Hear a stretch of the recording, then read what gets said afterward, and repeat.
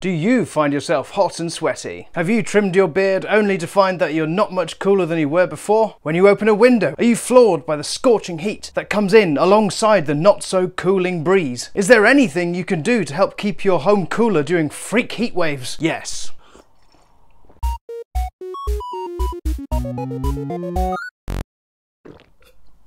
Hello and welcome to Underdog Physics. Infrared light is a colour of light that we can't see like other colours, red, blue, orange, but we can feel it. Infrared light transfers thermal energy very well. However, light can be reflected, which means that infrared light can also be reflected. I think you know where I'm going with this. Foil! Not what you expected? Really? But look how well it reflects all the colours. Colours like red, blue, green, and infrared.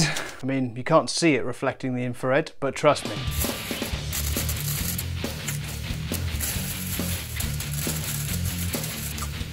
Ta-da! It may not be pretty, but this foil can block the heat from the sun much better than any old thick curtain could, or thin curtain for that matter. With your curtains closed, all the curtains are really doing are absorbing the infrared light from the sun and warming up, and then warming up the air in your home anyway. Sticking foil on the windows means that infrared light is reflected back out so it doesn't heat up the inside of your home. That's all for now. I better open the windows in the back while I still can.